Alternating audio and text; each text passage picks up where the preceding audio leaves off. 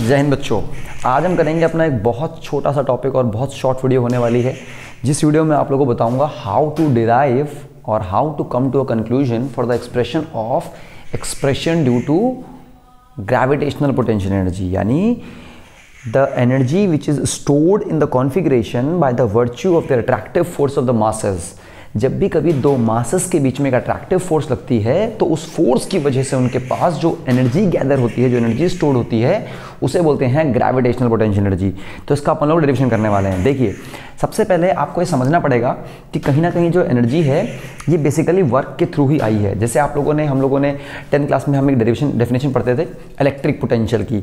The amount of work done in moving a unit positive charge from infinity to that point तो इसमें आपको समझना पड़ेगा कि इन्फिनिटी से हम किसी पॉइंट को किसी एक पॉइंट पे लेके आते हैं। यहाँ आप एक बात समझिए, हम लोग इन्फिनिटी क्यों लेते हैं? हम लोग इन्फिनिटी का रेफरेंस क्यों लेते हैं? अपनी ज़िंदगी में याद रखना बुक्स में ले लें, चाहे एजम्पन में ले लें, चाहे एक्सपेरिमेंटल एनालिसिस में ले लें, जो इन्फिनिटी होता है उस पर पोटेंशियल एनर्जी हमेशा ज़ीरो होती है। तो हमेशा हम रेफरेंस इन्फिनिटी का ही लेते हैं। क्योंकि अगर हम किसी एक पॉइंट से किसी दूसरे पॉइंट का एनालिसिस ले लें तो इसकी पोटेंशियल एनर्जी U1 होगी, इसकी पोटेंशियल एनर्जी U2 होगी।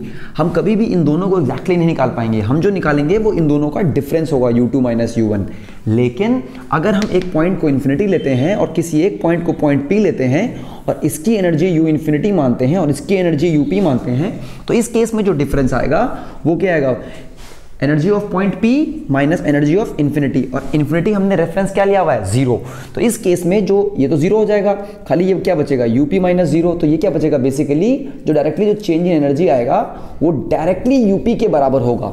तो याद रखना इन्फिनिटी लेने से फ़ायदा ये होता है, जब भी हम कभी इन्फिनिटी लेते हैं तो इन्फिनिटी लेते ही हमें ये एडवांटेज देखने को मिलता है।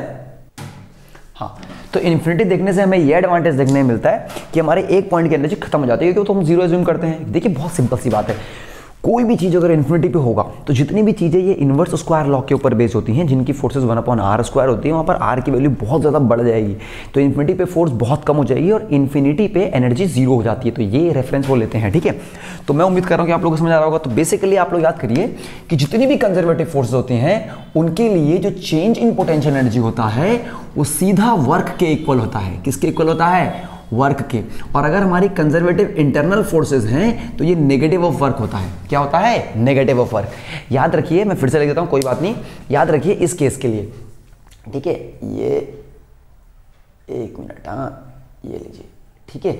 तो जितना भी हमारा, फिर से बोलता हूँ, जो भी हमारा, जो भी हमारा चेंज इन पोटेंशियल एनर्जी है, वो नेगेटिव ऑफ़ वर्क होता है। नेगेटिव ऑफ़ क्या होता है? वर्क याद रखना, ये जो भी कंजर्वेटिव फोर्सेज हैं, ये फॉर्मूला उन्हीं के लिए वैलिड है। किसके लिए वैलिड है? कंजर्वेटिव फोर्सेस के लिए। और कंजर्वेटिव फोर्सेस वो होती हैं जो सिर्फ़ और सिर्फ़ अपनी पोजीशन पर डिपेंड करती हैं, अपने पाथ पर डिपेंड नहीं करती, जिनके लिए राउंड ट्रिप पे वर्क क्या हो जाता है ज़ीरो हो जाता है। ये मैंने आप लोगों को ऑलरेडी बहुत बार पढ़ाया हुआ है। ठीक है? चलिए एक मिनट हाँ। अभी ठीक है। ठीक है? चलिए। तो उम्मीद कर रहा हूँ कि आप लोगों को एक्सप्रेशन समझ आ रहा होगा। ठीक है? और आप लोगों को ये भी समझ आ रहा होगा कि इन्फिनिटी पोटेंशियल एनर्जी क्या होती है? ज़ीरो होती है। चलिए, अब हम दो मास के लिए ड्राइव करते हैं कि मेनली हमको दो मास के लिए ड्राइव करना है। हालाँकि मैंने आपको क्लास में इसके दो तरीके करवा दिए हैं ऑलरेडी बट फिर भी क्या होता है कि कभी कभी क्या होता है कि हमें दिक्कत आती है। तो ये इसका प्रॉपर एक्यूरेट बिल्कुल ऐसा डेरिवेशन है जो आप कहीं बना सकते हैं। चलिए। अब देखिए। इसको याद रखना आपने ठीक है? देखिए, मान लीजिए कि मेरे पास एक मास m1 ये है और बिल्कुल इससे सटा हुआ एक मास m2 ये है। मेरे पास दो मास हैं, ठीक है? और इन ये दोनों मास कहीं दूर बहुत इन्फिनिटी पड़े हुए हैं, बहुत दूर कहीं पड़े हुए हैं और मुझे पॉइंट पी पे एक सिस्टम बनाना है। मुझे पॉइंट पी पे क्या बनाना है? एक सिस्टम बनाना है और मेरा सिस्टम कुछ ऐसा दिखना चाहिए जहाँ पर मेरा m1 से r डिस्टेंस की दूरी पर कौन एस्टेब्लिश हो जाए? M2 मैं कुछ ऐसा सिस्टम देखना चाहता हूँ। एक बात बताइए तो सबसे पहले आपको किसी एक पॉइंट पहले एम वन लाना पड़ेगा। और मैंने आप लोगों को बात सिखाई थी, अगर कॉलेज में कोई पहला बच्चा आ रहा है तो ना तो उसे कोई दोस्ती करने के लिए मिलेगा, ना उसे कोई दुश्मनी करने के लिए मिलेगा। इसका मतलब जब आप पहले मास को स्टैब्लिश करते हो तो आपको पहले मास को स्टैब्लिश करने के लिए कोई भी वर्क नहीं करना पड़ता। यानी बस आपने इसको खाली ऐसे करना है, ऐसे क्या करना आपने खाली इसको फूक मारनी हल्की सी। आप इसको मान लो ये तो नहीं है सीन में इन्फिनिटी में, आप इसको फूक मारेंगे, ये अपने आप जाएगा। इसको कि यहाँ कोई मास बैठा ही नहीं है। अगर यहाँ पर कोई मास रखा होता तो एनालिसिस और सीन कुछ और होता। तो इसको इस्टेब्लिश करने के लिए, इसको इस पॉइंट पे इस्टेब्लिश करने के लिए आपने कोई भी वर्क नहीं किया। यानी कि gravitational work for mass one is almost zero आपने उसके लिए कोई भी वर्क नहीं किया, कोई भी वर्क नहीं किया। लेकिन, अब देखिए सुनिए अब आपका रेफरेंस पूरा बदल चुका है। अब मान लेते हैं कि यहाँ से हमारा ये कोई, मुझे यहाँ से इसको आर डिस्टेंस पे लेके आना है और ये मेरा इस तरफ़ पोजिशन वैक्टर है एक्स देखिए ना, अब अब एम वन वहाँ जा चुका है। तो अब एम वन को मैं यहाँ से हटा दूँ? अब एम वन यहाँ से वहाँ मूव कर चुका है। एम वन के लिए कोई वर्क नहीं करना पड़ा। एम वन तो यहाँ से हट गया। लो एम वन हट गया। अब क्या हो रहा है? अब हम M2 को उठा के ले जा रहे हैं। एक बात बताओ, जब मैं M2 को उठा के लेके जाऊँगा हेलो जब मैं M2 को उठा के आगे लेके जाऊँगा तो मुझे आगे ले जाने के लिए कुछ फोर्स लगानी पड़ेगी या नहीं लगानी पड़ेगी? नहीं लगानी पड़ेगी। इस केस में क्या होगा, वो ऑटोमेटिकली वो वाला मास उसको अट्रैक्ट करेगा। अब आप देखिए, इन, इसकी जो फोर्स लगने वाली है, वो इस पर इस तरफ़ फोर्स लगने वाली है दैट इज़ ग्रेविटेशनल फोर्स लगने वाली है। और हम लोगों को पता है कि जो ग्रेविटेशनल फोर्स है, उसका जो फॉर्मूला होता है, वो क्या होता है? G M one M two upon X square X क्यों लिया है? क्योंकि देखो आर तो एक फिक्स डिस्टेंस है जहाँ पर हमको लाके इसको रोकना है। पहले एक्स है। मान लो यहाँ पर अभी इनके बीच का डिस्टेंस एक्स है। थोड़ा सा आगे गए एक्स की वैल्यू चेंज हो गई।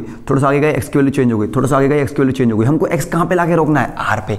यानी आप देखिए कि हमारा जो एक्स है, वो कहाँ से स्टार्ट कर रहा है? इन्फिनिटी से। और हमारा एक्स कहाँ तक आना है? आर पे। तो यानी कि आपको अपनी लिमिट समझ आ गई है कि आपका जो ये एक्स जो डिस्प्लेसमेंट है, जो ये पोजिशन वेक्टर है, ये इन्फिनिटी पे पहले है और इसने कहाँ पर आना है? आर पे आना है।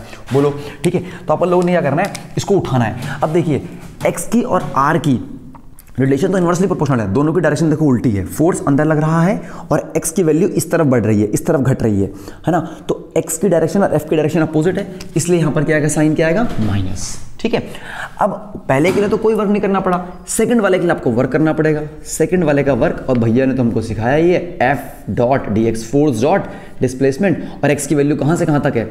इन्फिनिटी से लेकर, बोलो, कहाँ तक? आर तक। यही तो है। ठीक है?